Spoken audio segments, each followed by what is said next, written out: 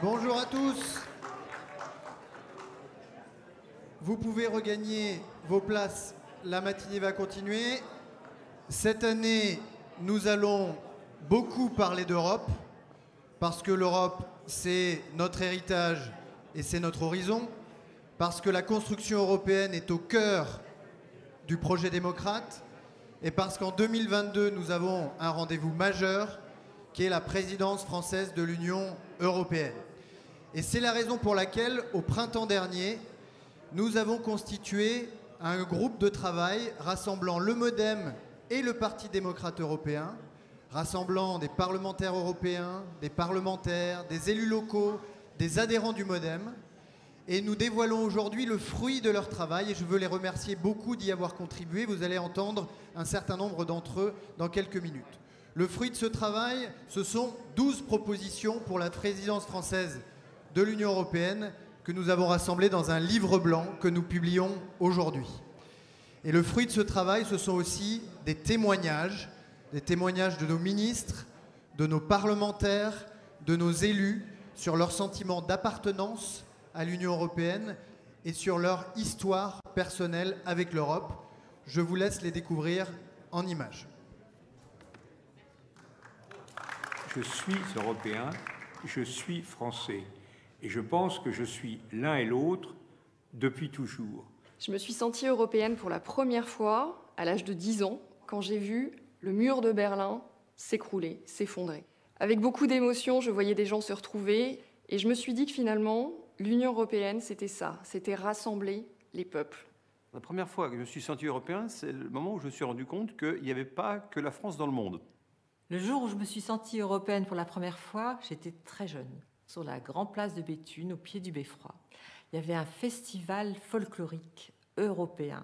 Je me suis dit, l'Europe, c'est magnifique, c'est de la couleur, c'est de la diversité, c'est des chants, des danses. Quand j'étais enfant, en fait, euh, j'ai eu la chance d'habiter en région frontalière. Je suis à 15 km de la Suisse, à 40 km de l'Allemagne. Et là, je me suis dit, tiens, euh, à deux pas de chez moi, il y a des gens qui ne sont pas exactement pareils que moi, J'habite à Cracovie, donc euh, pour moi l'Europe euh, c'est tous les jours, c'est euh, les conflits européens, c'est dans la famille. Finalement, ce serait peut-être pas si bête que ça de pouvoir s'entendre. Les moments qui a frappé ma vie, a frappé toute une génération, c'était le 9 novembre 1989. La télévision italienne nous annonce que les murs de Berlin avaient chuté. J'ai compris qu'il y avait quelque chose d'énorme qui était en train de se passer pour les Européens et pour le monde entier. Donc j'ai commencé à appeler au téléphone mes amis.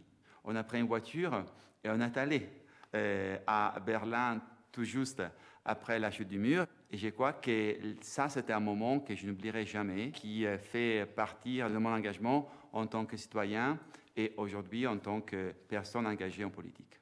Le sentiment d'être européenne, euh, je l'ai eu extrêmement fortement, puisque ça a été mon premier vote la première fois qu'on a voté en 1979 euh, pour le Parlement européen. Donc euh, je ne pouvais pas imaginer euh, plus beau projet pour me sentir européenne. Pour moi, le sentiment européen, euh, il est né euh, relativement tôt et il est assez naturel puisque je suis vraiment née en Allemagne de parents allemands avec une éducation allemande, une formation allemande et aujourd'hui je suis députée euh, française à l'Assemblée nationale. Quand je suis arrivée en France il y a 38 ans, ça n'aurait pas pu être possible. Dans ma tendre enfance, il y avait une cérémonie qui comptait énormément c'est d'aller au monument aux morts le 11 novembre. Mon grand-père était, était, est mort à la guerre 14. Et mon père m'a dit plus jamais ça. Alors à ce moment-là, vous comprenez pourquoi? Parce que ça touche votre famille. Et quand vous voyez sur la colonne de votre village tous les membres des familles, des voisins que vous connaissez qui sont morts, vous dites plus jamais ça. Nous avons beaucoup, beaucoup de lieux de mémoire aussi euh, dans l'Union européenne. Et de temps en temps, il faudrait qu'on se rappelle d'où on vient, quel chemin, en fait, euh, on a parcouru. Je crois qu'il faut qu'on se souvienne qu'est-ce que c'est l'Europe. Ce n'est pas un traité international. C'est beaucoup, beaucoup plus profond. C'est vraiment des ennemis héréditaires qui ont décidé de vivre ensemble. Quand euh, l'histoire avec un grand H rencontre l'histoire de votre famille, eh bien c'est là que naissent les convictions et l'attachement au projet européen tel qu'il existe aujourd'hui. J'ai deux petits-enfants franco-espagnols, alors je le vis vraiment dans mes tripes, cette Europe. Moi, je suis allé demander la main de ma femme en septembre 89 en vélo de Metz à Cracovie. Je ne pensais pas que je raconterais ça aujourd'hui. Euh, il y avait encore le rideau de fer. Et comme je dis souvent, je suis passé tellement vite que le mur est tombé, puisque le mur est tombé dans les trois mois après.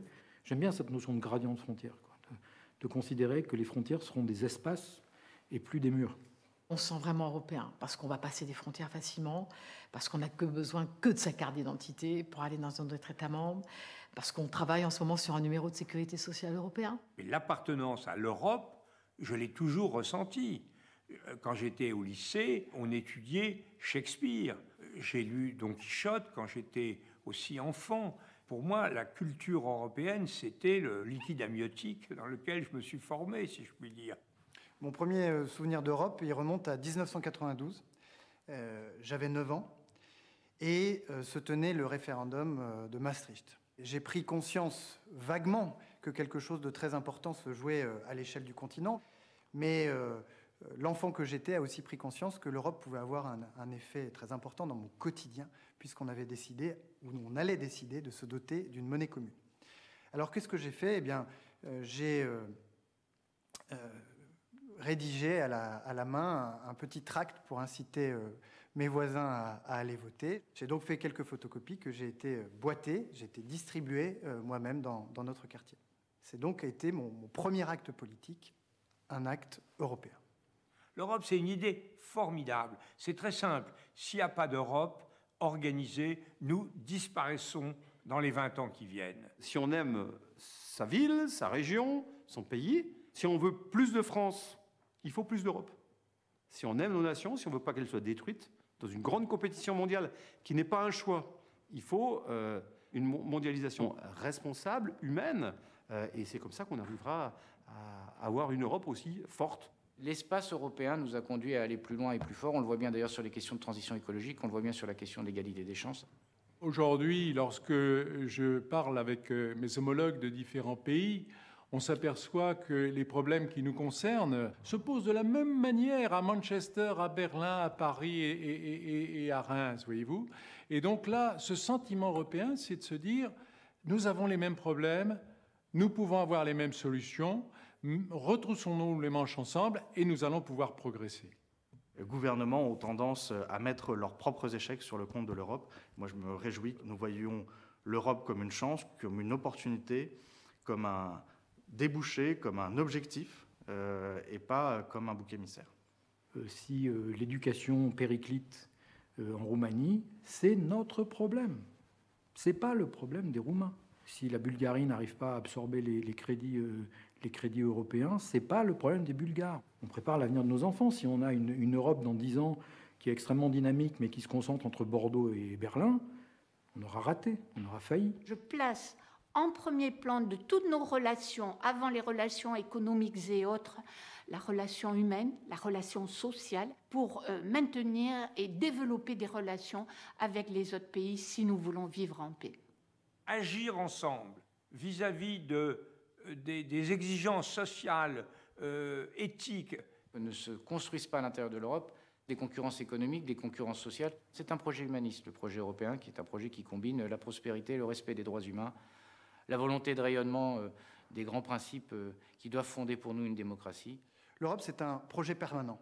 Et ce qui unifie l'histoire de ce projet permanent, c'est cet attachement à la liberté, cet attachement à l'égalité, à la solidarité, désormais à la transition écologique, pour faire de l'Union européenne un continent qui est à l'avant-garde sur tous ces sujets. L'Union européenne, justement, avec ce projet de paix, avec ce projet de liberté, avec ce projet basé sur des valeurs, elle a un rôle capital à jouer sur la scène internationale pour faire en sorte aussi que, dans un contexte qui est de plus en plus tendu, qui est de plus en plus difficile sur le plan économique, sur le plan diplomatique, sur le plan de la défense, elle arrive à créer les conditions sur la scène internationale du vivre ensemble.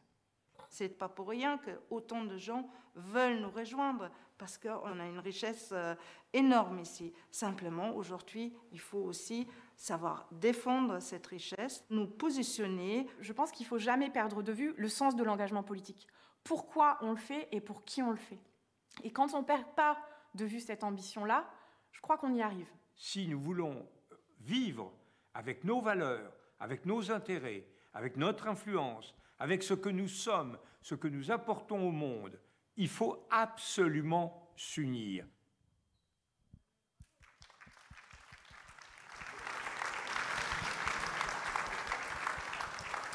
C'est presque déjà une conclusion de, Jean-Louis Bourlange.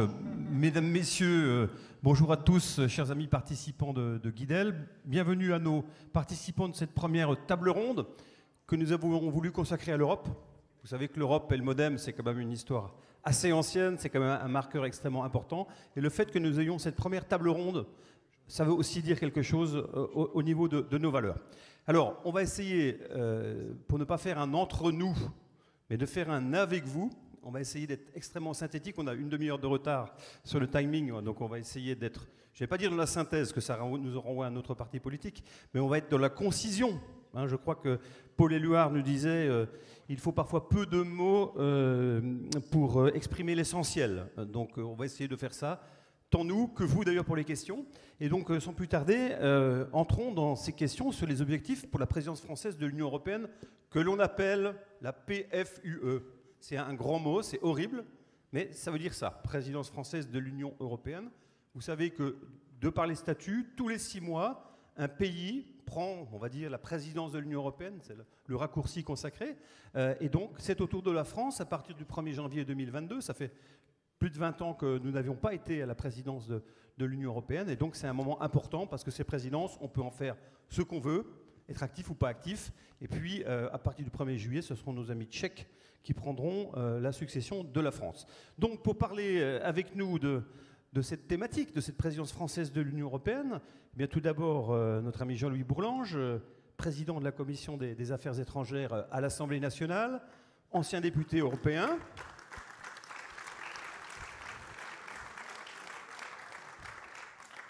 Alors, mon cher Jean-Louis, est-ce qu'il faut en fait attendre beaucoup ou pas grand-chose de cette présidence française de, l'Union européenne euh, et face aux grands enjeux de monde qu'on voit actuellement, est-ce que l'idée c'est d'être dans le pessimisme ou au contraire dans le positif.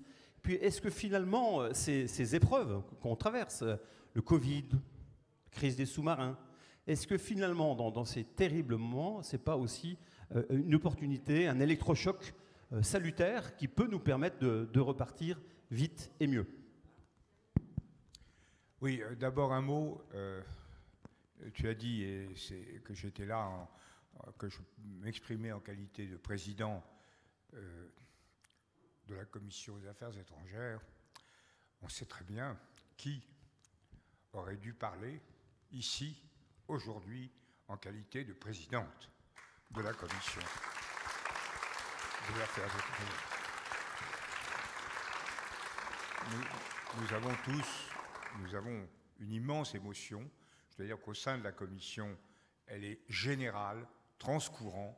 Tous les partis politiques ont une immense, ont, une immense émotion en découvrant la disparition de Marielle, et c'est un regret, c'est une, une souffrance même qui anime, je crois, l'ensemble des membres de notre commission. Alors, comme le dit euh, François, la vie, la vie politique, l'histoire continue le, le, legs que nous devons assumer, euh, c'est pour être fidèle à sa mémoire, c'est de réussir euh, ce qu'elle avait l'ambition euh, de faire, ce à quoi elle a contribué par des rapports éclatants et par une présidence extraordinaire au sein de cette commission. Je vous assure que nous avons, en tant que Modem, à travers elle, nous avons vraiment honoré le mandat qui nous a été donné par la majorité, par l'ensemble de, des membres de l'Assemblée et elle a assumé cette présidence de la Commission des affaires étrangères avec le, profond, avec le respect profond des valeurs qui sont les nôtres, qui sont des valeurs de rassemblement, de dynamisme, de dépassement des conflits, euh, d'affirmation d'une volonté commune. Nous opposons la volonté commune à l'hystérie de l'identité. C'est ça qu'elle portait en elle et c'est ça dont, au sein de la Commission, mais je sais bien que c'est le cas aussi des membres du Parlement européen. Marielle a été très présente, très active au Parlement européen. C'est ça que nous avons en commun. Excuse-moi, tu nous as demandé d'être bref, mais je voulais, je voulais dire cela. Alors, sur, euh, sur la. Combien, combien de temps Je vais, je vais me, me tenir à ce que tu me dis. Bon, 3-4 minutes. Alors, je, je, crois que c'est, je vais simplement. Euh, je, laisserai Stéphane, euh, qui va parler de la présidence euh, qui, dont il fait sa, vie quotidienne, si je puis dire. mais je, voudrais simplement souligner un paradoxe. C'est le, paradoxe, il faut bien voir ça, c'est que la présidence d'un État, présidence de l'Union européenne par un État, c'est une mission impossible. Parce que le président, l'État-président, est, comme aurait dit en d'autres temps André Tardieu, il a les bras chargés des enfants des autres. Il arrive dans un monde déjà fait, avec des bébés qui ont été conçus euh, avant euh, qu'il accède à, lui-même à la chambre conjugale, et euh, qui sont à moitié formés, quelques-uns sont à moitié nés, sont encore à, à, développer, et les idées qui peuvent être les siennes, les enfants qui seraient les siens, il n'aura pas le temps de les voir grandir. Six mois, c'était ce qu'avait dit de façon dans, un, numéro absolument dérisoire, Berlusconi un jour, il, avait dit, parce que tout le monde hurlait après un discours qui est resté homérique, comme un discours de provocation générale à l'égard des partis euh, euh, pro-européens, et Berlusconi avait dit, je vois que vous n'êtes pas content, mais vous inquiétez pas, six mois c'est vite passé. Il parlait de sa propre présidence, c'était une, une dérision. Donc il y a ça, il y a le fait que euh, on a écouté l'autre jour en commission des affaires européennes euh, Clément, euh, Clément Beaune qui nous a expliqué, on voit bien, la, France va suivre tous les dossiers qui sont sur, la, table, alors que le paradoxe, c'est un peu comme ce qui s'est passé pendant la présidence française de 89. On a évoqué la chute du mur, on est arrivé, euh, présidence française en, en, en, juin 89, on est arrivé avec notre petit programme, et en, six mois, on a libéré l'Europe. D'ailleurs, à ceux qui nous disaient le Parlement européen ne sert à rien, j'ai répondu comment? J'ai été élu en juin 89, six mois plus tard, l'Europe entière était libérée. Alors dites-moi que je n'ai pas assumé mon mandat. Bon, mais euh, on, a donc ce. et, et, là, on a vraiment une situation extraordinaire que je qualifierais très, très brièvement en disant nous sommes porteurs, nous Français. On dit euh, les Français, maintenant c'est l'Allemagne qui dirige, etc. C'est vrai c'est faux. D'abord, personne ne dirige. Vous ne pouvez rien faire en Europe si vous n'êtes pas d'accord l'un avec l'autre. Même du temps du général de Gaulle, quand les Allemands n'ont pas voulu suivre de Gaulle, ils ne l'ont pas suivi, point final. Et ça a été une crise longue au sein de l'Europe. Donc personne ne domine l'autre. C'est vrai que les Allemands ont une puissance économique, une puissance d'entraînement plus forte que la nôtre actuellement, mais sur le plan des idées, je voudrais qu'on arrête de dire que l'Europe est dirigée par les Allemands. Ce qui est caractéristique, c'est que les idées que nous avons avec d'autres, avec les Italiens, avec les Espagnols, euh, avec, euh, avec les, les et avec d'autres, ce que nous avons mis en place au lendemain de Maastricht, ce sont des idées qui enfin se concrétisent. Nous avons dit quoi? Nous avons dit l'Europe, c'est pas simplement que les pays européens se regardent les uns les autres, c'est qu'ils regardent ensemble, pour paraphraser Saint-Exupéry, dans la même direction. Il faut faire une révolution copernicienne. Le destin de l'Europe, il se jouera dans ses rapports avec la Chine, avec l'Inde, avec le Moyen-Orient, avec l'Afrique, avec l'Amérique, parce que le problème franco-allemand, il est heureusement réglé. Donc il faut faire une grande conversion. Ça veut dire qu'on doit faire une Europe politique. Ça veut dire qu'on doit faire non pas simplement une politique monétaire, mais une politique économique. Ça veut dire qu'on doit s'intéresser au mouvement migratoire, non pas, pour refuser systématiquement les migrants, mais pour réguler les migrations et pour réussir l'intégration. Ça veut dire qu'on on, on doit euh, relever les défis proprement politiques et d'abord le défi écologique qui est le nôtre. Eh bien, qu'est-ce qui se passe? Depuis quelque temps, on voit que nos idées ont germé. Les Allemands, Madame, Merkel, avec la, la prudence qu'il a toujours caractérisée, a fait un grand choix avec Next Generation l'année dernière, et maintenant on voit bien que le grand enjeu, c'est de savoir comment on va transformer notre, ce qui s'est fait, ce plan de relance, qui ne doit pas être un one-shot euh, mouvement, plan, mais un plan, comment on va le transformer. Ce qui s'est passé en Afghanistan, ça a révélé un immense vide. Moi, je crois qu'il y avait deux façons de traiter. Il y a deux façons de traiter le, euh, euh, pivot américain. Soit les Américains, c'était un peu la tendance de Trump, euh, disent on se fout des Européens et on s'oriente vers la Chine.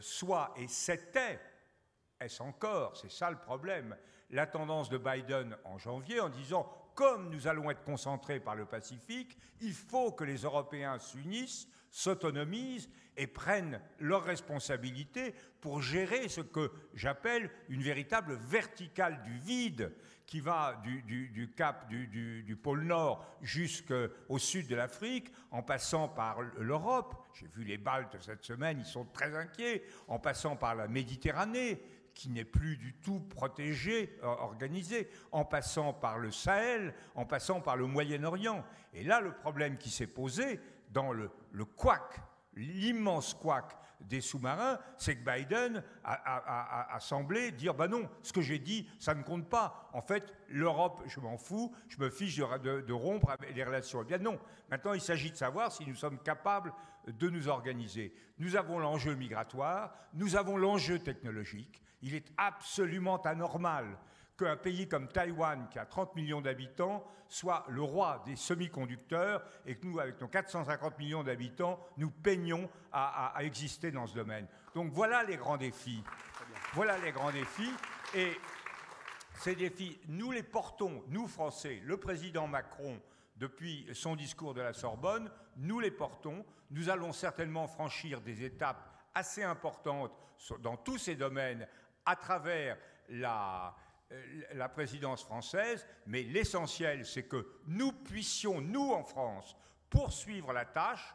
Je ne vous dis pas comment il faut voter au présidentiel, vous avez votre petite idée, pour poursuivre cette tâche. Et il faut aussi qu'on rencontre en Allemagne euh, des, notamment, mais c'est le reste, il faudra. Les Italiens, ça va bien, ça va beaucoup mieux. On est très heureux avec les Italiens. Les Espagnols, c'est très intéressant. Euh, nous avons des problèmes avec les Polonais, les Hongrois, etc.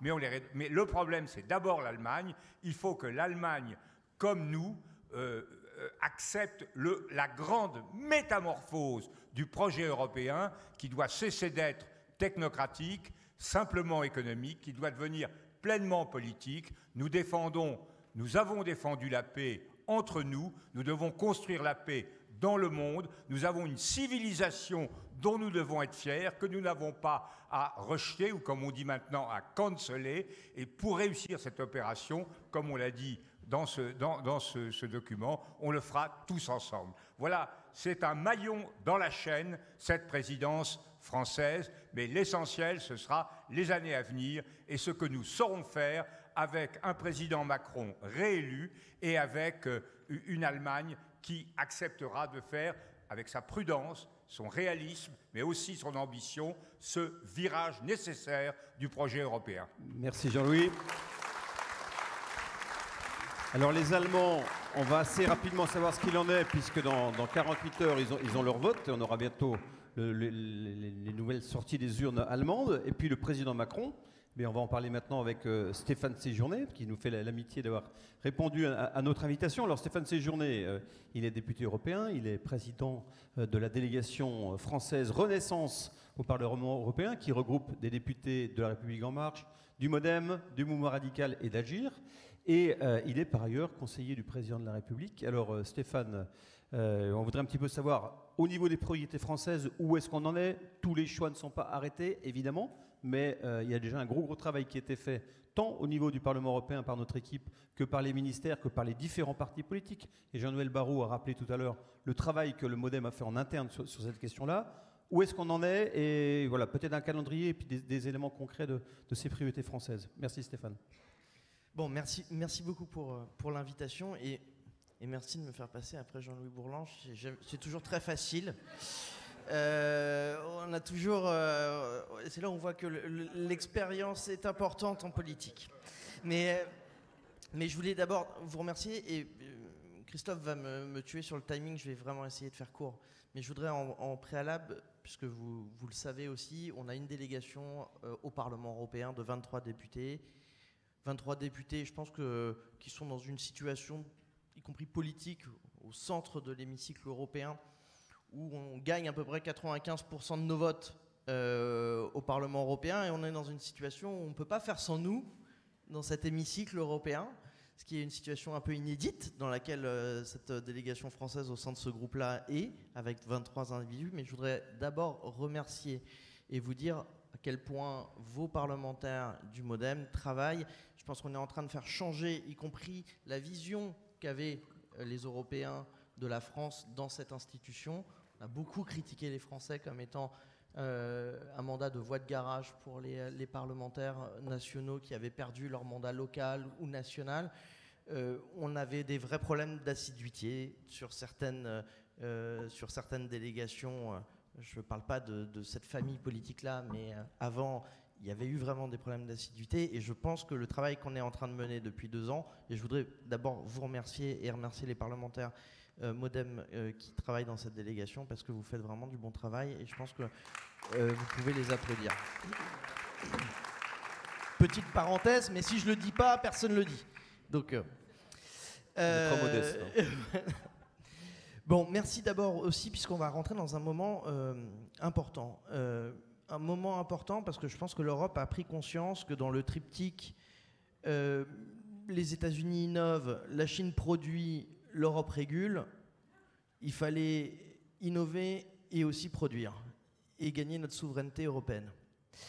Si je résume un petit peu ce que, ce que, ce que disait euh, Jean-Louis Borlange, cette présidence française elle va être euh, sous cette euh, optique-là. Il va falloir continuer à réguler puisque notre euh, réglementation européenne n'est pas encore aboutie et il va falloir consolider le modèle européen qu'on est en train de construire. C'est ce qu'on va faire sur l'environnement avec des objectifs de décarbonation de l'économie à 2050. Il va falloir quand même expliquer à tous nos concitoyens européens comment on y arrive et avec une réglementation bien établie. Il y a une quinzaine de propositions de règlements et de directives qui sortent de la Commission qu'on va devoir analyser rapidement et peut-être faire aboutir en présidence française, notamment des gros objets politiques comme la taxe carbone aux frontières de l'Union européenne, qui nécessitera justement beaucoup de pédagogie de notre part pour expliquer aux Français ce que c'est euh, et beaucoup de pédagogie aussi auprès de nos, co- nos- nos collègues européens pour, euh, les inciter à, adopter ce, ce modèle. On aura, et Sandro en dira sûrement un mot, mais aussi à parachever la régulation sur le numérique, euh, qui est un vrai sujet, euh, donc de nous créer une identité numérique euh, européenne, qui ne sera pas ni le modèle chinois, ni le modèle d'ailleurs américain, et qui sera un vrai modèle particulier de compétition, mais aussi bah, de régulation du secteur du numérique. Ça, on vous en parlera aussi. Et puis, dans le troisième aspect, peut-être, on aura également tous les combats qu'on voit, euh, voit venir sur l'état de droit, euh, avec une délégation ultra mobilisée, et sur les questions sociales. Je sais que voilà, Sylvie est là, notre députée qui va s'en occuper, avec la construction peut-être d'un salaire minimum européen euh, dans les pays qui n'en ont pas encore aujourd'hui. Je le dis bien, je le précise, pour pas que ça soit interprété comme ça a été dans, la campagne européenne mal interprété. Il ne s'agit pas de niveler par le bas les salaires euh, minimums européens, mais de construire ce modèle social européen. Donc, si je résume moi les choses, je dirais à la fois parachever le modèle de régulation, prendre conscience que l'autonomie stratégique et euh, dans l'innovation et, dans la fabrication ne doit pas être exclusivement euh, renvoyée aux deux autres continents. Et donc je pense que ça, on aura un intérêt. Et dans le moment qu'on a vécu avec l'Afghanistan et les, euh, sous-marins euh, nucléaires euh, et le, ce contrat d'armement, je pense qu'on est dans un moment de, bascule aussi on arrivera à faire accélérer tous ces agendas. La présidente de la commission, d'ailleurs, Van der Leyen, a annoncé un grand sommet sur la défense européenne. C'est vraiment une première euh, et euh, on va pouvoir accélérer l'agenda sur ces questions-là. Donc beaucoup de chantiers. Euh, il faudrait presque deux heures pour prendre chantier par chantier, mais par contre, je sais que c'est le travail des mouvements politiques de creuser, d'expliquer, de vulgariser et surtout de convaincre les Français que la défense du modèle européen va être aussi euh, un enjeu politique dans les prochaines, euh, dans les prochaines années dans les, et dans les années à venir. Et je pense qu'on peut compter sur le MoDem. En tout cas, vous pourrez compter sur euh, La République En Marche et l'ensemble de la délégation Renaissance. Je vous remercie. Merci Stéphane. Alors, vous l'aurez compris en, en écoutant Jean-Louis et Stéphane, euh, ceux qui imaginent l'Europe comme uniquement un grand euh, marché commun euh, dérégulé, euh, monétaire, vous voyez bien qu'aujourd'hui, c'est des vraies politiques économiques, c'est la fin de l'Europe naïve, c'est l'autonomie stratégique, c'est aussi le retour des valeurs euh, et de cet attachement à l'état de droit qui avait peut-être été un petit peu perdu. Et évidemment, ça nécessite de se bagarrer. Alors, pour arriver à, à tous ces éléments qui sont en fait quelques briques euh, pour faire un mur. Euh, Richard Ferrand nous, parlait tout à l'heure de, de fondation et de son père qui était maçon. Donc pour faire un mur, il faut aussi avoir du mortier, avoir euh, du liant.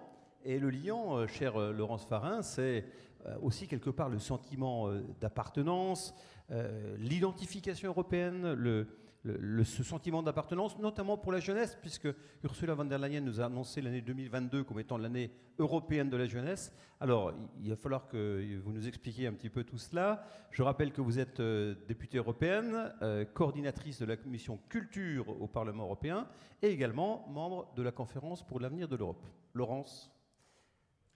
Oui, alors, il y a un moment.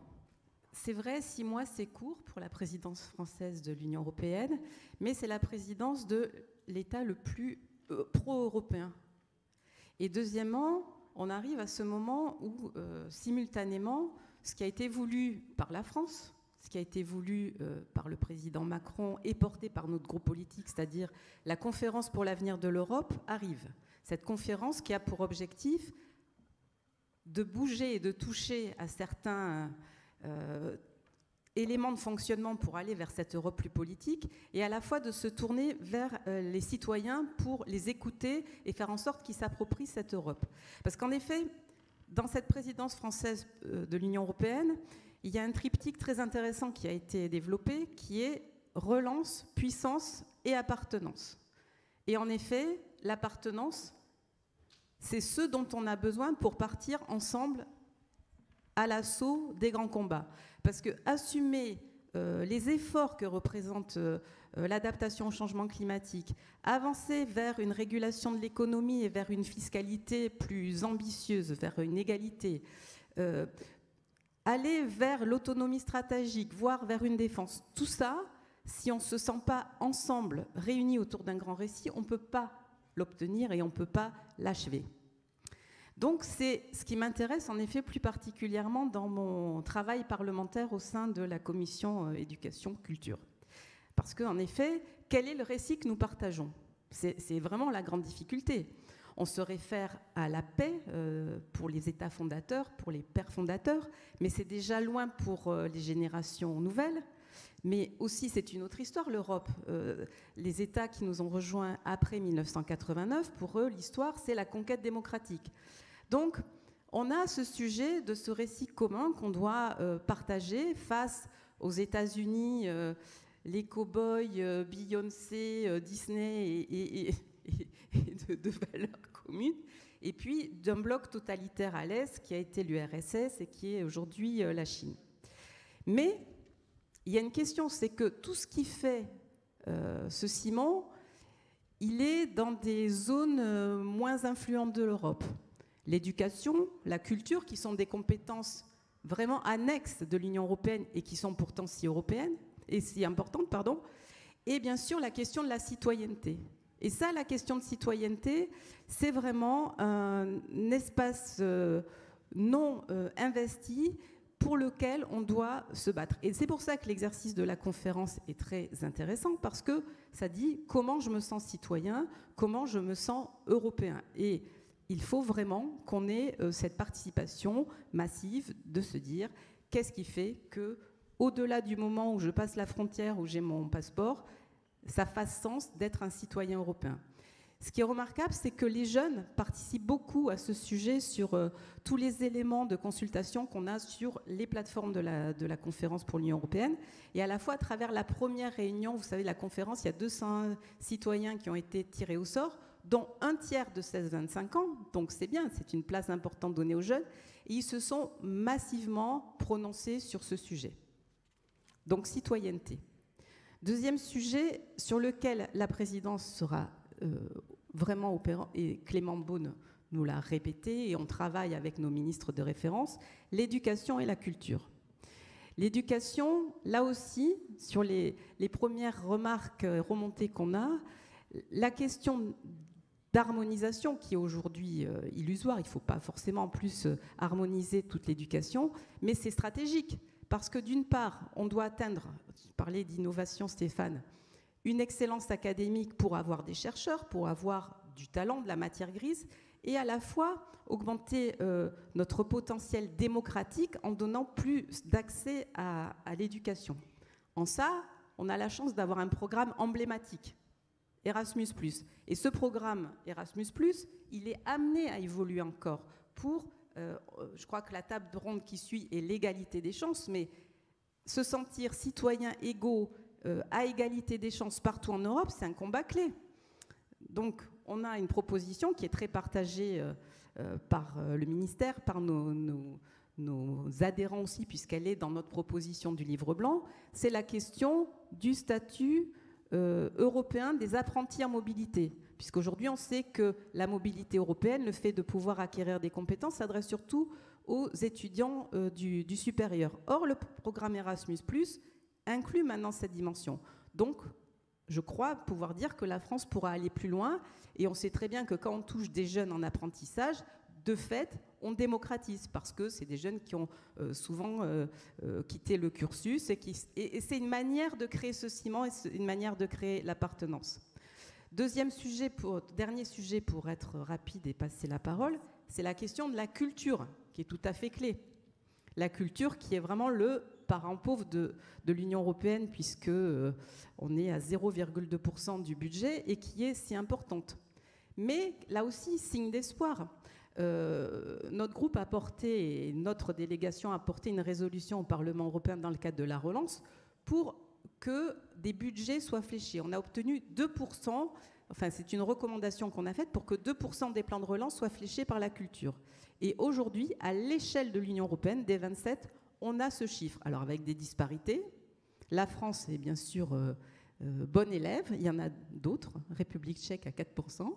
Euh, d'autres ont zéro, mais c'est l'Allemagne parce qu'ils ont délégué les compétences aux, régions, aux landers. Mais très, très positif. Et dans ce question culturelle, il y a vraiment des points qu'on doit s'arroger. Et là aussi, je suis confiante parce qu'on y travaille, on, on, échange beaucoup avec les ministères sur des questions comme la langue, multilinguisme, euh, importance d'acquérir notre identité avec cette complexité qu'est la diversité. Et au-delà, puisque c'est un sujet qui nous a touché les langues régionales, la reconnaissance des cultures régionales, parce que l'Europe, ça ne doit pas être une uniformité euh, absolument triste. Donc on a cette question euh, notamment de la charte, la ratification des chartes euh, régionales et minoritaires qui est importante et qui rejoint le débat qu'on a eu sur la loi Molac et dans nos régions aussi. voilà, point. Le patrimoine, là aussi, parce qu'on sait la difficulté qu'il y a à enseigner l'histoire européenne compte tenu de justement nos différentes visions sur l'histoire. En revanche, se réaccaparer le patrimoine, l'explorer, l'exploiter, le communiquer, c'est aussi le reprendre aux plus conservateurs. Hein. Ceux qui revendiquent le, patrimoine euh, au Parlement européen, ce pas les partis les plus pro-européens.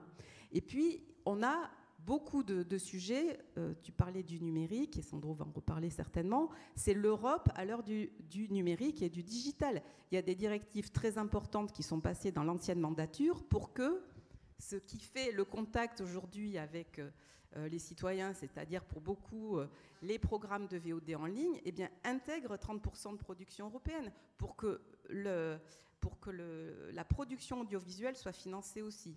Donc, tout ce, ça chemine, c'est un, progrès qui est fait. Euh, c'est 2%, et je pense que ce n'est pas un hasard si euh, y a eu le premier G20 Culture, merci Sandro à Rome, en Italie, euh, qui, qui s'est penché sur le sujet. Donc, pour conclure, c'est un moment, nous avons besoin de dépassement et d'objectifs politiques, mais rien ne se fera sans ciment et sans ce sentiment d'appartenance. Merci Laurence. Alors, vous avez cité Clément Beaune, notre secrétaire d'État aux Affaires européennes. Peut-être vous rappeler que cet après-midi, à 14h30, dans cette salle, et on diffusera son message en, vidéo à notre ministre des, Affaires européennes. Alors, Sandro Gozzi, euh, ancien ministre des Affaires européennes du gouvernement italien, euh, député européen, euh, membre de la, Conférence pour l'avenir de l'Europe, secrétaire général du Parti démocrate européen, le PDE. Je vous rappelle quand même que le PDE, c'est une émanation quand même du mouvement démocrate à l'origine et de nos amis italiens. donc c'est comme ça que le, PDE s'est constitué il y a quelques années et qu'il fédère aujourd'hui des partis politiques dans une bonne partie de l'Europe, peut-être important de le rappeler, parce qu'il y a toujours marqué PDE quelque part sur les, sur les, documents, mais peut-être vous rappeler un peu ce que c'est, parce que c'est vrai qu'en France, on ne le connaît peut-être pas suffisamment encore. Tout, et membre du MoDem, vous êtes membre de droit du PDE, donc voilà, donc c'est, donc voilà, vous êtes adhérent de quelque chose que vous ne connaissez pas forcément encore à 100%, alors que François Bayrou se bat euh, depuis l'origine, en tant aussi que président, euh, pour, euh, pour que le PDE soit encore plus connu. Et donc, merci à Sandro également cette qualité de, secrétaire général du Parti démocrate. Alors, peut-être quels objectifs sur, la conférence sur l'avenir de l'Europe en complément de ce qu'a déjà dit Laurence Et puis, voilà, comment impliquer peut-être davantage les, citoyens dans cette Europe de demain? Sandro? Merci, merci. à nouveau, merci. C'est la quatrième fois que je suis aux universités des rentrées du MODEB. La deuxième fois à Guidel, une fois au sud-ouest et une fois dans le sud. Hein. Je, m'en souviens Très bien. Jean-Louis l'a déjà dit, mais vu la relation qu'on avait, euh, je dois vous le dire aussi, combien ça me manque euh, la, présence de Marielle. Euh, c'est avec elle que j'ai commencé notre belle amitié, notre belle coopération entre nous, les Italiens, et vous, les, mouvements démocrates. Et en venant ici hier soir, je n'ai pas pu m'empêcher de, lui faire une, pensée très amicale et très douce parce qu'elle me manque énormément. Euh, mission impossible. Euh, on a des missions impossibles. On a toujours des missions impossibles en politique. C'est pour cela qu'on fait de la politique d'ailleurs. C'est pour cela qu'on fait de la politique européenne. C'est une mission impossible. Euh, la présidence française de l'Union européenne, Jean-Louis et Stéphane ont encadré parfaitement les enjeux. C'est une mission impossible aussi de transformer l'Europe et de faire une conférence sur l'avenir de l'Europe en sélectionnant des citoyens qui vont, euh, plusieurs centaines de citoyens ont été sélectionnés dans les 27 États membres pour travailler dans cette conférence avec les représentants des citoyens, avec nous, euh, les parlementaires européens, avec les, parlementaires nationaux, avec les ministres, et avec les commissaires. Euh, ça, c'est la conférence. Est-ce que c'est... Il y, y, a certains qui ne voulaient pas cette conférence. Il y en a d'autres qui voudraient que ça se passe vite et qu'on l'oublie vite. Il y en a d'autres encore qui disent Ah, formidable, c'est un grand sondage à l'échelle euh, continentale. Et puis il y a nous. Nous, nous voulons que la conférence prépare une grande réforme de l'Union européenne, certaines grandes réformes de l'Union européenne. Et nous voulons que ceci euh, coïncide euh, avec un grand moment pendant la présidence française de l'Union européenne.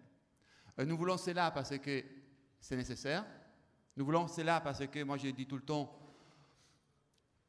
surtout avec la crise euh, du Covid-19, mais en général avec ces, changements, ces nouveaux désordres euh, mondiaux, on vit un moment darwinien, un moment des grands changements, un moment dans lequel ce n'est pas toujours le plus fort qui gagne, mais c'est lui qui montre d'avoir la meilleure capacité d'adaptation, de mieux, de mieux interpréter la transformation.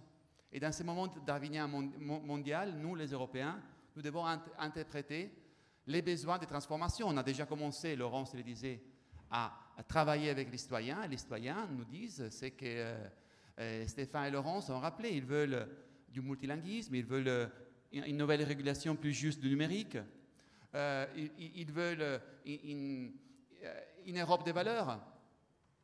Jean-Louis disait, c'est un peu ingrat hein, avoir une présidence en rotation pour six mois de l'Union européenne.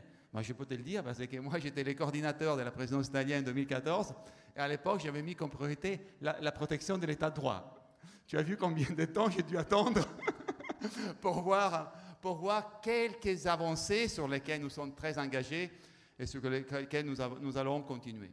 Donc, euh, les, enjeux sont, sont ceux-là, mais il faut d'un côté les placer dans un contexte plus vaste, de l'autre côté, voir dans l'immédiat ce qu'on peut obtenir dans ces six mois. Et les contextes plus, plus vastes, c'est qu'on on va célébrer les, les, 30 ans du marché unique.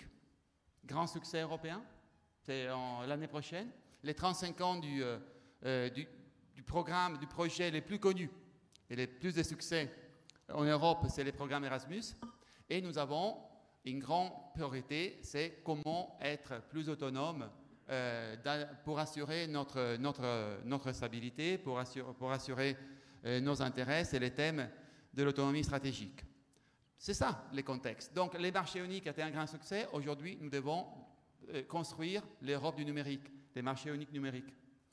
du point de vue des opportunités que cela, cela offre, du point de vue de la protection des droits fondamentaux, du point de vue des nouvelles opportunités que cela peut donner euh, à, notre modèle euh, industriel, de la volonté, Stéphane l'a dit très bien, d'être véritablement alternatif à un modèle où tout est, déréglementé, où les, grands, les géants du numérique font ce qu'ils veulent avec nos données personnelles, les modèles américains, et un modèle où tout est étatique et dans lequel le numérique est utilisé pour contrôler les citoyens et pour interférer dans nos processus démocratiques, c'est le modèle chinois. Et le travail qu'on fait aussi dans la, commission d'enquête sur la désinformation montre bien combien les Russes, les Chinois, les, euh, Iraniens, les Vénézuéliens utilisent les instruments numériques pour interférer sur nos processus démocratiques. Ça, ce sont, les enjeux euh, auxquels, auxquels nous devons faire face, euh, en sachant qu'il y a aussi, et ça sera des, les derniers points, en sachant qu'il y a aussi, d'abord, la nécessité d'une approche humaniste, la question de la sécurité, pour moi, n'est pas seulement militaire. La question de la sécurité européenne, c'est militaire et culture. autonomie stratégique et connaissance, éducation. Et moi, je lui dis qu'un message très fort, ça serait que pour un euro de plus qu'en tant qu'Européen, on dépense pour l'armée, on doit dépenser un euro plus pour la culture. Parce que c'est comme ça que nous défendons véritablement et de façon complète euh, nos valeurs. Et nous avons la possibilité de le faire. Parce que d'un côté, justement, une des, priorités de la présidence française de l'Union européenne, ça sera la défense. De l'autre côté, ça sera toutes les initiatives dans le domaine de l'éducation, de la culture, du numérique que nous allons, que nous allons euh, lancer. Et après, il y a un contexte de leadership. Il y a un contexte de leadership, un contexte des relations, un contexte de, travail avec les acteurs euh, incontournables. Pas de façon exclusive, mais incontournables. Les, les leaders aujourd'hui en Europe s'appellent Emmanuel Macron. Donc il faut bien les relire en 2022. Euh, il a un bon partenaire. Il a un bon partenaire qui s'appelle Mario Draghi. Et cher Jean-Louis, je suis content que tu dises que ça va, bien avec l'Italie, mais ce n'était pas pour quelqu'un que vous connaissez bien qui s'appelle Matteo Renzi, qui a provoqué la crise pour remplacer Giuseppe Conte par Mario Draghi. Aujourd'hui, les relations entre l'Italie et la France ne seraient pas les mêmes. Donc, moins, euh, je vais vous rappeler cette opération qui a été fondamentale, pas seulement pour l'Italie, mais aussi euh, mais aussi euh, pour l'Europe. Et puis, il y a la grande question allemande. Et je termine là. Je sais combien elle est, euh, historique, forte, combien la, relation entre la France et l'Allemagne est sensible, etc. Moi, dans mon expérience, j'ai trouvé que la prudence, moi, à la prudence parfois désespérante de Angela Merkel, j'ai toujours préféré depuis qu'il est candidat, l'impatience qui peut-être a énervé certains d'Emmanuel Macron. Et moi, j'espère que la chancelière, le nouveau chancelier, la nouvelle chancelière, soit elle ou lui aussi un peu plus impatient de transformer notre Union européenne. Merci Sandro. Alors, jusqu'à maintenant, on a eu euh, un regard un petit peu de l'Europe euh, occidentale, euh, j'allais dire, avec, euh, nos différents intervenants. Il est peut-être temps de se tourner vers la partie de l'Europe orientale, cette Europe des pays de l'Est que Frédéric Petit connaît parfaitement. donc Frédéric, vous êtes député à l'Assemblée nationale représentant les Français de l'étranger, notamment dans cette partie de l'Europe, et vous êtes également secrétaire général adjoint du Parti démocrate européen.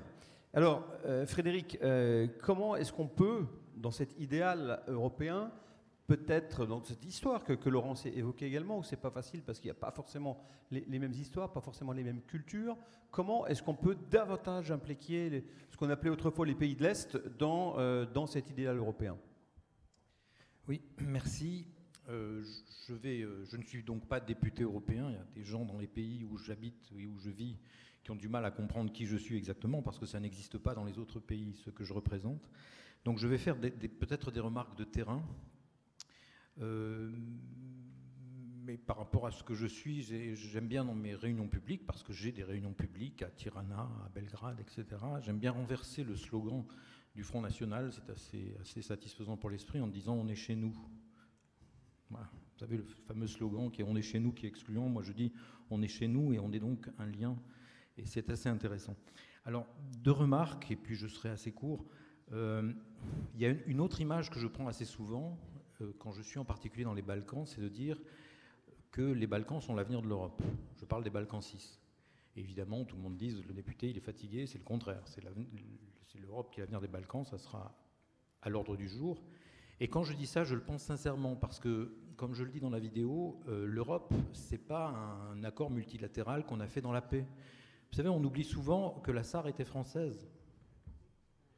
Le bas de Württemberg n'était pas l'Allemagne, c'était une zone d'occupation. Moi, je rencontre, j'ai fêté il n'y a pas longtemps les 50 ans du lycée français de Baden-Baden. On m'a raconté des histoires d'envahissement de Français dans l'Allemagne. Il, y avait les conflits dans la rue. Et c'est jusqu'en 65, jusqu'en 66. Et c'est à ces moments-là qu'on a créé, qu'on s'est dit, on, va, alors qu'on a encore des conflits ouverts, on va mettre en commun le charbon, l'acier et puis euh, la langue de l'autre un peu plus tard. Et c'est en ça que cette partie de l'Europe peut être l'avenir de l'Europe. Ou bien notre modèle de réconciliation entre ennemis héréditaires et de transformation des conflits pour aller, pour apporter au monde une autre parole, marche. Et dans ces cas-là, c'est là-bas que ça va marcher maintenant. Ou alors, c'est qu'on s'est trompé. Donc je crois qu'il y a une notion, et qui est une notion, effectivement, une notion culturelle, une notion de culture européenne. Et la dernière chose que je voudrais dire, c'est une précision. Je ne crois pas qu'on saura ce que fera l'Allemagne dimanche soir. Dimanche soir, ils vont analyser. Après, ils vont faire une, ils vont faire une coalition. Mais le pire, ça sera pas, enfin le plus long, ça ne sera pas la coalition elle-même. La coalition, on peut déjà la sentir ça sera l'accord de coalition. Parce que dans l'accord de coalition, ils sont obligés de faire des, tractations. Voilà. Et si le FDP est dans la coalition, qu'est-ce que le FDP va accepter de céder ou pas céder euh, Ça ne sera pas pareil pour le train, ça ne sera pas pareil pour la culture. Donc je crois qu'on a encore une menace, une menace sur la présidence française. Euh, c'est quand même de revivre ce qu'on a vécu il y a cinq ans, c'est-à-dire une très très longue, un très très long accord de coalition, ce qui ferait que ça, mettrait, ça nous handicaperait au niveau européen. Voilà. Merci Frédéric. ce qui avait été extrêmement surprenant, c'est effectivement de voir en Allemagne qu'il a fallu attendre trois débats télévisés, sur le troisième débat télévisé, on commence à parler d'Europe entre candidats euh, à la chancellerie allemande, ce qui est absolument incroyable. Bon, ils sont tous d'accord, ils sont tous pro-européens maintenant. Enfin, il n'y a que, les extrêmes, hein, à gauche et à l'extrême droite, qui, ne sont pas favorables à l'Europe. Donc il y a une sorte de consensus, mais c'est bien de le rappeler quand même dans le débat public mis aussi trois débats pour commencer à dire du mal les uns des autres. Il faut dire que nous, nous commencerons beaucoup plus tôt. On a toujours un temps d'avance, c'est bien. ok, alors maintenant, euh, merci à nos, intervenants. C'est le moment des questions. Hein. Je vous avais dit qu'on ne voulait pas faire un entre nous, mais que c'était un avec vous qu'on voulait faire. Donc, euh, si euh, des mains peuvent se lever, je vois plein de mains qui se lèvent. Alors, s'il vous plaît, des questions extrêmement concises. J'anticipe les, demandes de la régie. Donc, question très concise, s'il vous plaît, pour et puis on va faire des réponses de toute façon concises. Donc, ça permettra d'en avoir un maximum. Et j'en prends plusieurs d'un coup. Très bien.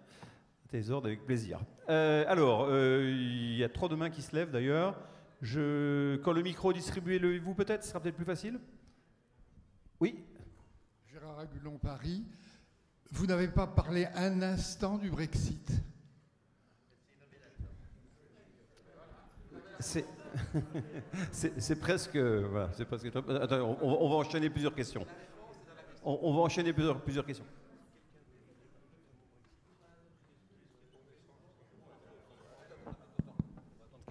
Oui, oui euh, une question en fait par rapport à quels objectifs pour la présidence française de l'Union européenne.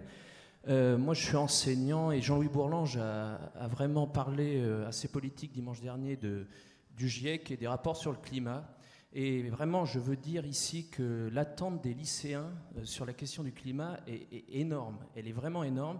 Et si Emmanuel Macron avait un, un objectif à se fixer, ce serait peut-être de proposer à l'Europe une Europe de l'énergie, par exemple. Et je voulais vous demander, est-ce que vous pensez que c'est quelle chance ce projet a-t-il d'aboutir en Europe?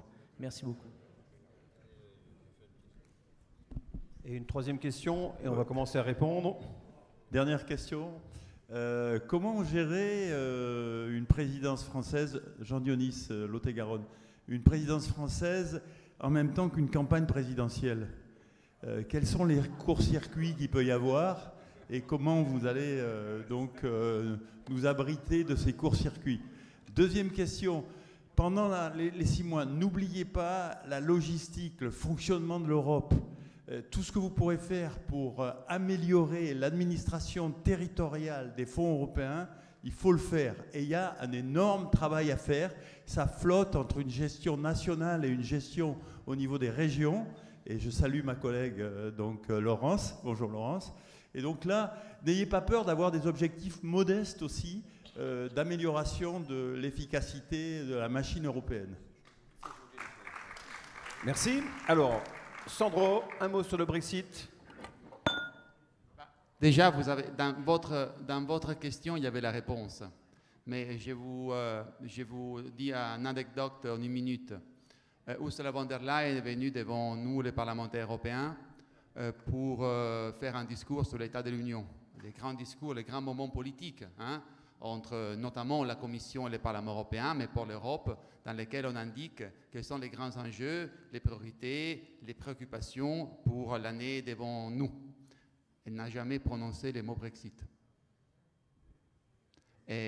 Parce que pour nous, c'est derrière nous. C'est derrière nous. Et euh, les correspondants euh, britanniques euh, à, à, Strasbourg qui suivaient, ils ont discuter avec leurs collègues français, euh, allemands, hein, mais en disant, mais elle n'a jamais parlé du Brexit. Eh oui, donc c'est ça. Pour nous, euh, on, a, euh, on a un continent à bâtir, on a une Europe à transformer, on a des réponses à donner à nos citoyens. Le Brexit, c'est derrière nous, évidemment. Nous voulons construire un partenariat avec nos amis britanniques, mais contrairement à ce qu'ils avaient pensé, on ne passe pas nos journées à nous demander qu'est-ce qu'ils vont faire les Britanniques ou euh, à nous arracher les cheveux pour leur choix dramatique. Une erreur historique, démocratique, et nous respectons, mais nous allons de l'avant. Et c'est pour cela que nous pouvons, c'est le dernier mot, construire et aller de l'avant vers une Europe de la défense. Merci. Merci Sandro. Peut-être préciser aussi qu'il faudra veiller, c'est la seule actualité qui nous reste un peu avec les Britanniques, à ce qu'ils respectent la signature, ce qu'ils ont signé, que les engagements soient bien tenus et que les choses fonctionnent bel et bien. Si vous me permettez, euh, par rapport à la question sur l'énergie, je vais répondre un peu à la place de, nos invités, mais euh, donc c'est majeur les questions d'énergie. Je m'en occupe un peu au Parlement européen, l'intégration des systèmes énergétiques, maintenant la, je, m'occupe de la révision de la directive sur les énergies renouvelables. Euh, donc il y a un enjeu absolument majeur, cet enjeu énergétique, pas pour de la décroissance. Je dis à chaque fois que ce qui est important, c'est euh, de, effectivement de faire de l'efficacité énergétique, de faire des économies, de mieux isoler les bâtiments, etc. Mais pour mieux redéployer l'énergie, parce que l'énergie consommée est toujours liée au niveau de vie des pays, au, PIB. Hein. donc plus vous dépensez d'énergie, euh, plus vous avez de PIB. à partir du moment où vous respectez la nature et que vous n'utilisez pas les ressources finies, eh bien, on, a tous les leviers ouverts pour redéployer derrière. Et donc, euh, c'est évidemment le Green Deal au niveau du Parlement européen, enfin, euh, au niveau des textes du Parlement européen, au niveau de l'Union, c'est le Green Deal, donc la neutralité carbone en 2050, sur laquelle on se bagarre tous, avec là aussi dépasser un peu les dogmes. François parlait de, de ça ce matin. le problème de, l'énergie, c'est qu'il y a beaucoup de dogmes. Euh, je prends l'exemple en 2050, euh, il faut 13% d'énergie nucléaire en 2050 dans le mix énergétique. S'il n'y a pas 13%, on n'arrive pas à décarboner en 2050. Eh ben, il y a quand même des gens qui aujourd'hui mettent des bâtons dans les roues parce qu'ils ne veulent pas de ces 13% en 2050. Donc ça veut dire qu'ils ne veulent pas l'objectif du Green Deal. Euh, et donc on se bagarre avec la taxonomie verte, avec d'autres sujets, pour qu'il y ait une part de nucléaire dedans. Ça ne veut pas dire que c'est la seule solution, mais il y a une part à mettre dedans, sinon on n'y arrivera pas. Et donc, sur la troisième question euh, relative à l'élection présidentielle en même temps que la présidence, je pense que Stéphane Séjourné est le mieux placé pour, euh, pour nous en parler. Alors, est-ce qu'il y aura six mois utiles ou trois mois utiles ou comment on va faire? Une question qui revient souvent sur deux sujets. Est-ce que la présidentielle est un élément handicapant pour notre efficacité pendant la présidence de l'Union européenne Est-ce que c'est un élément, on va dire, euh, supplémentaire qui pourrait nous faire gagner un peu plus d'efficacité dans la dynamique qu'on a?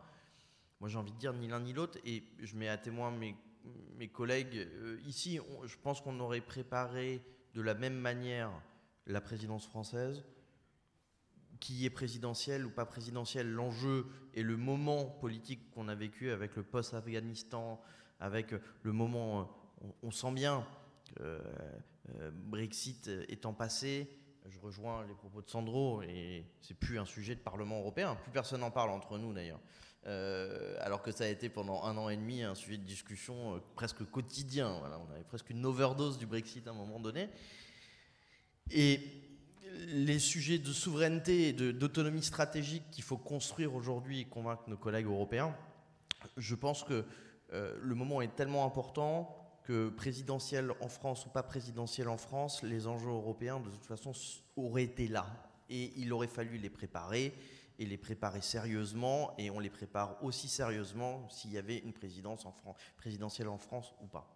Ça, c'est le premier élément. Est-ce que ça sera défavorable? Moi, je ne pense pas parce que euh, y a une forme de prise de risque euh, dans la présidence euh, française de l'Union européenne, puisqu'on va mettre un agenda.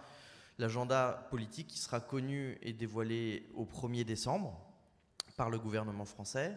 Le président de la République aura à s'exprimer dans l'hémicycle européen, sous forme d'ailleurs de questions, un peu une forme de question au gouvernement, auprès des parlementaires européens le 19 janvier, devant l'ensemble de la représentation européenne. Et puis, avec aussi un élément symbolique, c'est qu'on n'a pas l'habitude de voir le président de la République dans cet exercice politique que sa constitution en France lui interdit. Et, euh, donc c'est une, manière aussi pour lui de remettre les enjeux sur euh, les enjeux européens, de construire l'agenda, mais aussi de se confronter aux oppositions européennes. Et on en connaît, ce qui se passe aujourd'hui en Hongrie, les grands rassemblements et les grandes coalitions euh, d'extrême droite sont des éléments d'enjeu aussi euh, politique de cette présidence. Donc moi je dirais, la prise de risque est la même pour nous, l'organisation est la même, il nous manquera du temps peut-être en termes, puisque vous savez, les règles électorales font que trois mois après le début de la présidence française, on ne pourra pas faire d'événements euh, de conseils, ce qu'on appelle les conseils euh, européens euh, des ministres décentralisés. On en, on en aura de manière décentralisée pendant les trois premiers mois de la présidence française de l'Union européenne, mais pas après. Et après, on reprendra aussi un certain nombre d'activités, puisqu'il faudra de toute façon, et je l'espère, enjamber l'élection présidentielle avec le même membre du Conseil et le même président de l'Union européenne à ce moment-là, et terminer la présidence française avec d'autres enjeux, et puis euh, peut-être un agenda qui aura glissé euh, et qui sera en termes d'opportunités euh, différent. En tout cas, moi j'ai le sentiment qu'on prend ça de manière sérieuse, avec la bonne prise de risque et la bonne organisation. Voilà, et que les éléments de présidentiel à ce stade, en tout cas pour l'organisation européenne, ne jouent pas. Et je trouve que c'est plutôt pas mal. Merci Stéphane. Peut-être dire qu'on parlait de la défense commune. Il y aura un sommet sur la défense européenne qui se déroulera normalement à Toulouse au mois de mars 2022. C'est pas encore entièrement tranché, mais voilà. Donc c'est un début de réponse par rapport à cette question sur la défense européenne. Et pour terminer, je pense que Laurence pourrait nous dire quelques mots. Que j'ai oublié de vous dire, elle est coordinatrice de la commission culture, mais elle est également investie dans la commission régie, celle qui s'occupe des régions et qui gère notamment les fonds structurels euh, européens, notamment les, FEDER et le FSE. Laurence Oui, c'est notre président euh, François Bayrou qui m'avait envoyé dans cette commission justement pour euh, aller traquer quelques fonds européens. Mais oui, je voudrais répondre à, Jean Dionis, que j'ai le plaisir d'apercevoir. C'est cette question euh, des fonds européens, elle est stratégique parce qu'en effet, ça, c'est l'Europe perceptible et qui est connue euh, très fortement par euh, les élus, par les élus de proximité. Et on sait que c'est un levier très fort. C'est le deuxième budget de, l'Union européenne après la politique agricole commune, donc c'est pas rien. Je crois qu'il y a plusieurs sujets pour faire reconsidérer ces fonds.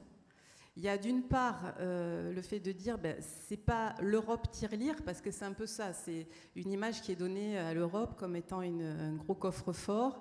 Et donc se dire déjà ces fonds, ils ont des objectifs. Ils ont des objectifs qui sont assignés et qui vont euh, construire la transition écologique et le changement euh, et le numérique. Donc il y a de la pédagogie à faire au niveau des élus.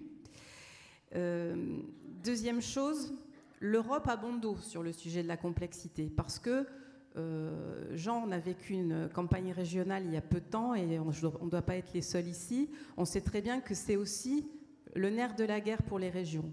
Et euh, on a eu euh, des débats sur ce point, sur aussi la possibilité de, décomplexifier, de dire il y a d'autres...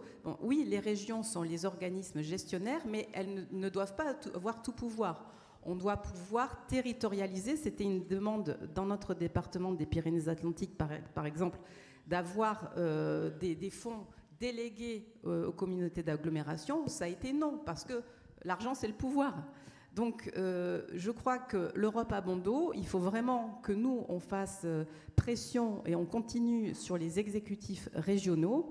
Et puis que quand il, c'est vrai que la présidence française doit s'emparer de ce sujet, mais je crois que euh, au travers de Jacqueline Gouraud, on est très bien placé pour discuter des sujets, des fonds et euh, de la décomplexification des fonds. Merci. Merci Laurence. on peut encore dire que dans le cadre, il y a aussi les fonds de la relance, 100 milliards d'euros euh, en, en, France pour le plan de relance national, 40 milliards qui viennent de l'Union européenne, et dites-le autour de vous, répétez-le, c'est hyper important ces 40 milliards ne coûtent pas un centime au contribuable français. Rien ne sort de la poche du contribuable français car euh, c'est financé par des fonds propres européens. Donc la France gagne également des subventions et de l'argent avec ce système de plan de relance européen. Alors, nous allons prendre encore trois questions. Euh, oui, ah, je ne t'avais pas identifié. Philippe, tu veux? Alors, il nous reste cinq minutes en fait, hein, donc euh, on va essayer d'être euh, concis car il y a une très belle table ronde sur l'égalité des chances juste après. Euh, et donc je voudrais surtout pas prendre sur, le temps de, travail. On, va, on, va, regarder comment fonctionner. bonjour, Youssef Herman, je suis élu dans l'heure. Alors moi ma question, je vais faire très rapidement, sur la formation et sur la recherche scientifique. C'est vrai, on en avait discuté avec une collègue. Euh, je pense à ce niveau-là, au niveau européen et français, on loupe le coche sur plein de choses. La première chose, ça veut dire on reçoit, au niveau européen, je ne sais pas, est-ce qu'il y a une bonne, une bonne collaboration à ce niveau-là pour récupérer nos, étudiants à, l'échelle européenne? Et deuxième chose, puisqu'on a une vision de technicité, vous, avez parlé tout à l'heure, je pense c'était euh, Monsieur Stéphane Séjourné, je ne sais pas, celui qui est au milieu, euh, sur le triptyque, sur la technique et... non, je me suis trompé non, non, c'est ça. très bien. Alors, sur le triptyque, et donc pour être à la pointe de la technicité, il faut avoir un, visu sur la rive sud, c'est-à-dire sur l'Afrique. On a plein de gens qui arrivent formés, avec des maîtrises, voire plus. Ils font leur, leur classe ici. Euh, c'était mon cas. Et donc, euh, après euh, de longues années de recherche, dès qu'ils sont formés, qu'ils sont prêts pour être productifs, ils partent à l'étranger, ça veut dire les États-Unis et ailleurs. Et je trouve que sur ce point-là, on n'est pas au point. Ça veut dire qu'on laisse beaucoup de, nos énergies euh, partir ailleurs. Et en deuxième, en deuxième lieu, il, faut aussi euh, qu'on fasse un travail sur, euh, sur l'alternance et sur la formation de nos jeunes. Et ce qu'elle a dit, Madame Laurence Farang, à ce niveau-là, qu'il y a nos collectivités, l'Europe aussi, peut prendre nos jeunes sur différents niveaux. Je regarde, dernier point sur les mairies. Ils peuvent faire de l'espace vert, mais ils peuvent aller jusqu'à la finance. Voilà. Merci bien, merci bien. Alors, il y a encore deux questions. Alors, il y a plein de questions. Je veux simplement vous dire qu'on a des ateliers Europe organisés par le P2 en parallèle, euh, enfin toute, toute, la journée. Demain également, euh, on est présent un peu partout, donc on pourra également répondre à vos questions tout au long de la journée. Euh, Philippe, tu veux nous... Ah, pardon. Non, non, c'était par ici. Alors, oui, dans... Ah oui, ok. Tout au fond. Allons-y. Viviane Boussier, Yveline, ma question est un peu annexe par rapport au titre de, cette euh, table ronde. Vous avez évoqué deux fois le mot euh, PDE. Il est inscrit en gros sur le, comme premier logo ici. Or, euh, comment, comment se fait-il que l'on est, en tant qu'adhérent, aucune nouvelle du PDE, sauf à aller strictement sur le, s'inscrire à la newsletter, mais il n'y a aucune communication officielle. Vous faites pourtant des choses qui sont formidables. Où en est-on vis-à-vis des adhérents de terrain pour euh, adhérer au PDE Pourquoi la com est-elle aussi mauvaise? Autrement dit, en deux, trois mots, un petit topo sur le PDE. Merci d'avance. Merci. Et donc, euh, alors, en fait, je ne distribue pas la parole, c'est ceux qui ont le micro que. Génial. Donc, on m'entend Philippe, oui. En deux minutes, comme à l'Assemblée. Je reviens sur, l'idée de, Sandro, euh, sur euh, cet euro dépensé pour la défense, euro dépensé pour la culture, et en profiter pour rendre hommage à un de nos amis qui nous a quittés l'an dernier, c'est Philippe Daverio. Parce que Philippe, qui était un écrivain à succès euh, en Italie, qui était un Français, un écrivain à succès en Italie, vous le savez, était milité pour cette Europe de la culture. Et il avait ce mot sublime de dire que lorsque nous aurons fait l'Europe de la culture, la Grèce pourra vivre de droits d'auteur. Et cet objectif, nous devons l'atteindre. Pourquoi? Parce que militairement, quand nous réussissons des objectifs, je prends l'exemple du Sahel, nous sommes complètement absents d'un point de vue culturel. Qui va dans le cercle de la Massina pour rappeler qu'il y avait un des écrivains en langue française les plus sublimes que nous ayons jamais eu, qui était Amadou Ampateba? Qui c'est qui va euh, réexhumer tous ces écrits et aller chercher dans ces peuples que nous libérons d'une oppression le fait de se reconstruire par la culture? Personne ne le fait aujourd'hui. Nous avons des succès militaires, nous sommes absents culturellement. C'est pour ça que cette idée de Sandro, il faut à tout prix que nous la cultivions. Un euro pour la défense, un euro pour la culture. Merci. Bien, bah, très bien. Merci Philippe. Alors, il y a une réponse rapide aux deux questions.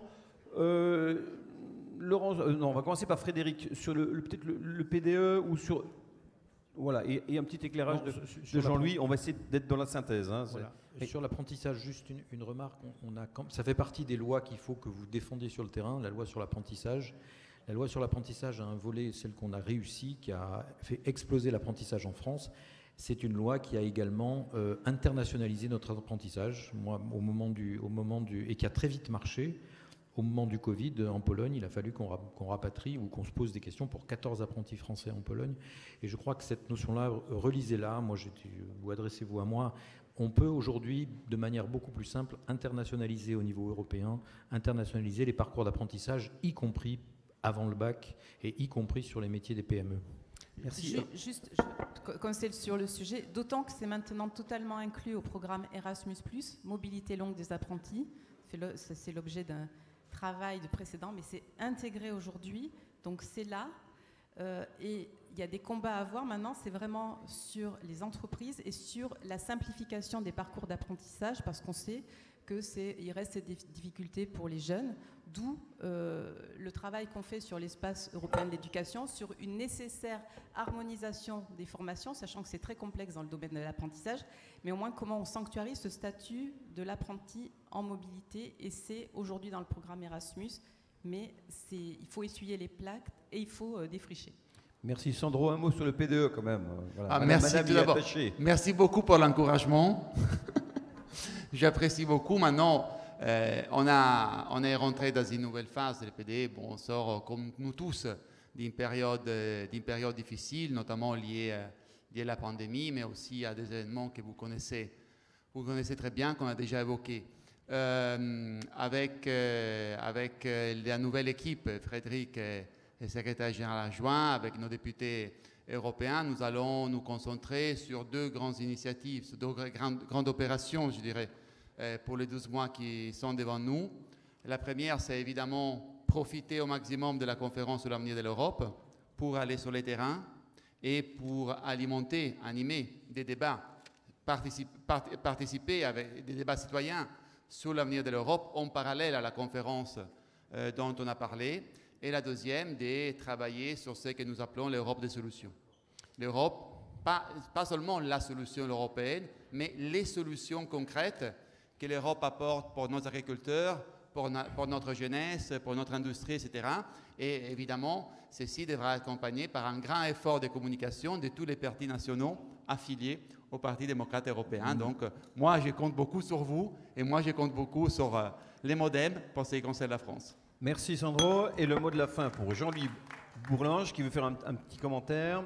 Oui, je voudrais euh, faire un, petit commentaire rapide sur le, rapport culture-défense qui a été mis en, avant par, Sandro et repris par vous.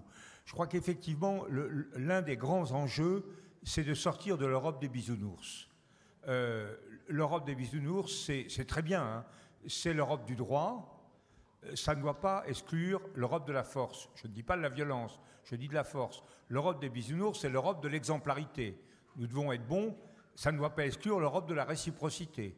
Nous devons obtenir de nos concurrents, euh, de, des autres, euh, qui s'alignent sur, euh, qui fassent des efforts égaux, le, comparables aux nôtres. L'Europe des bisounours, c'est l'Europe de l'universalité. Nous faisons, comme Emmanuel Kant, nous agissons sur, nous faisons ce qui est bien universellement. L'Europe réelle, c'est l'Europe des particularités. Il y a une particularité européenne qui est défiée par le monde. Donc on a ce grand changement. Ça ne veut pas dire abandonner les valeurs, mais ça veut dire combiner, c'est le propre de la politique. Euh, Max Weber disait que la politique, c'était un va-et-vient entre les valeurs et la réalité. Euh, L'Europe avait tendance à ignorer la réalité. Et l'Europe d'avant, elle avait tendance à ignorer les valeurs pendant l'entre-deux-guerres et pendant la période horrible euh, du bolchevisme. Là, nous devons tenir ça. Et les Européens, mais s'ils cessent d'être des bisounours, vont pas devenir du jour au lendemain et au niveau de l'Union européenne des gros durs.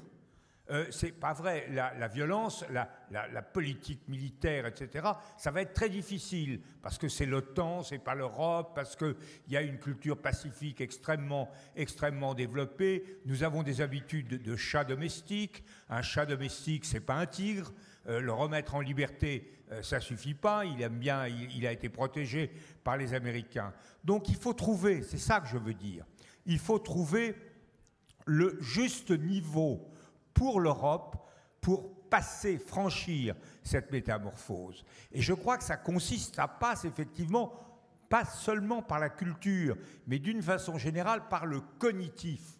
Je crois que nous devons mettre de la puissance, de la concurrence géopolitique dans notre révolution cognitive et nous devons mettre du cognitif dans notre révolution de la puissance. C'est la technologie, c'est la recherche, c'est euh, la formation, c'est notre capacité à inventer le monde de demain qui nous permettra aussi de réaliser, euh, euh, non pas l'Europe puissance, mais une Europe puissante. Je crois qu'il faut bien définir cette affaire-là. C'est là où se situe la révolution copernicienne. Il faut effectivement savoir que nous sommes dans un monde de compétition où nos valeurs sont attaquées. Elles ne se sont pas imposées comme on le pensait il y a, au moment de la chute du mur de Berlin, euh, Fukuyama, etc. Enfin, toute l'idée euh, de la fin de l'histoire, c'est faux.